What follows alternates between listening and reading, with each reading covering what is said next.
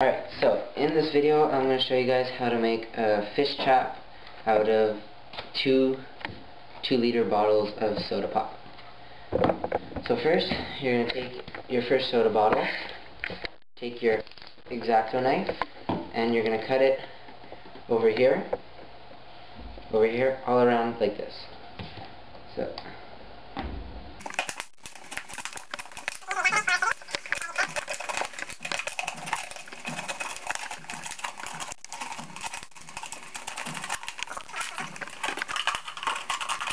Alright, this piece you're going to set aside, right over here.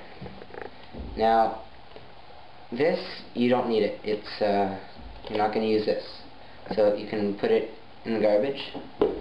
Now you take your second one, and you're going to do the same thing as what you just did, but you're going to cut off the back, the bottom. Okay, now that you cut off the bottom of it, you're going to put that away because you don't need that anymore either. Now you're going to take the top that you just cut off from the other one and you're going to put it into the bottom of this one. I don't know if you can see properly. Like this. You're going to take it, put it inside. Can you see properly? Like this. Okay? Okay, now that you put the top of the other bottle into this one, you're going to take duct tape, ordinary duct tape, and you're just going to kind of tape it up all around so it's sealed nicely. And just do that all around. So put your last piece on, and now you're done. So, you can see this piece here, this one, is uh, solidified inside. It's not going anywhere. Now you're almost done. Um, the reason I use two bottles, because some people just cut out the top and put it upside down, but then it ends over here and it's much smaller. This way you can just unscrew it here and dump out the fish. Well, just so you know, the fish are probably this big. They're not going to be much bigger than that, little minnows. And, um, yeah, once you're done that, you're going to use you can use two things to make little holes all over through the bottle, you're going to make little holes. You can see this one that I've already made. I don't know if you can see the holes. Can you see them? no you can't zoom sorry. So in the holes so that the water can go through. You can either use this which is a, a wood burner to engrave in wood or simply if you don't have this you can just use a wire heat it up in a candle or with a blowtorch and then just melt them through little holes. So I'm going to use this.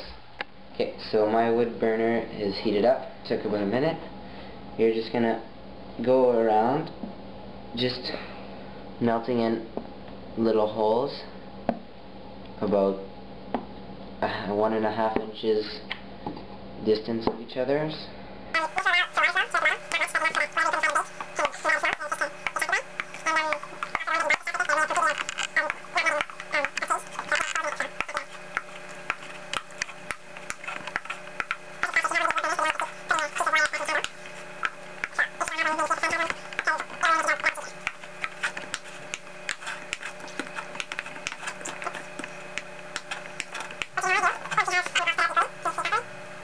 I would say towards here, you're going to put two closely cl close together. Nice size ones, not too small. Like this.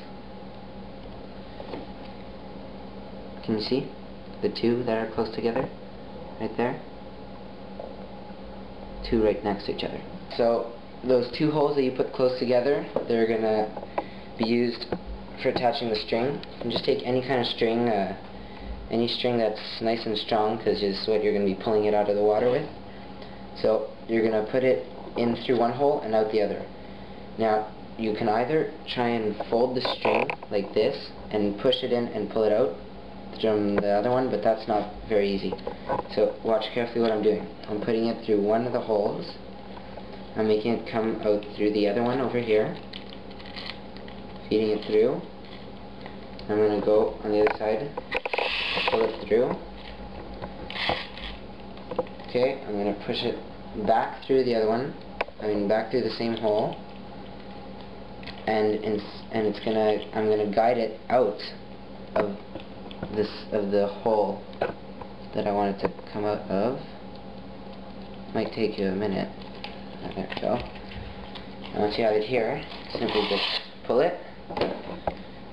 Now oops you can just put it to the right length that you want it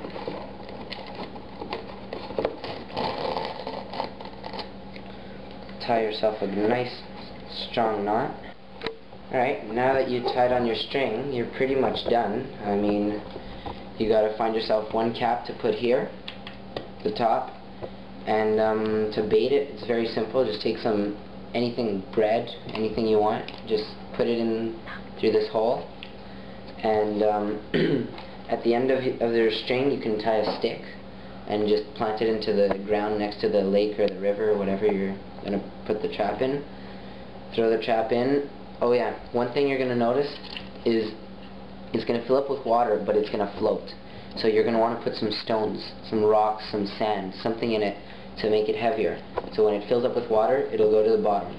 When it's at the bottom of the water, if you can see, if it's like this, you're not going to get any fish. So you want it to be on its side anyway, as long as it's on its side It can be up a bit, down a bit, that's fine. Um, to get the fish out, you just, as I said before, unscrew the top and pour it out, they'll come out. And um, I think that's it.